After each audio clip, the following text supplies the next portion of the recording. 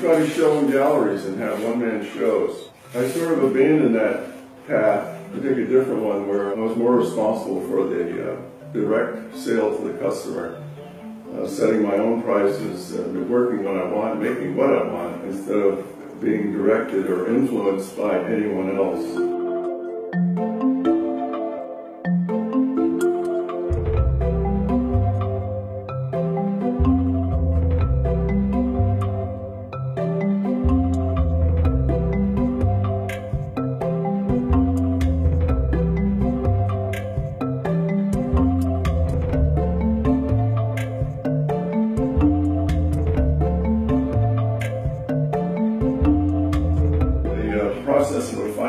More or less going to the computer and figuring out exactly how it's going to spin, how the wind is going to affect it to make it move.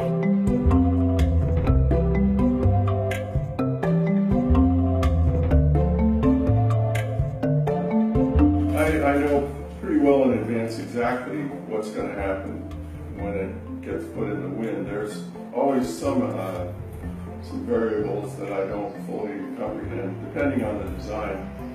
So it can be a matter of, of testing it, putting it out, testing it, see what it does, modifying it to work better and uh, perform the way I want it to.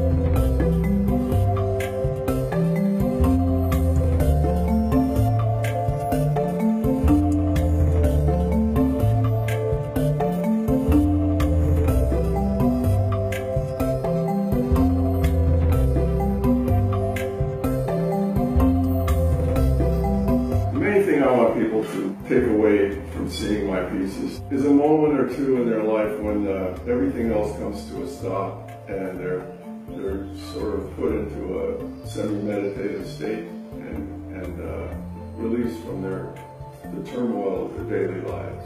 That's that's what I want them to feel.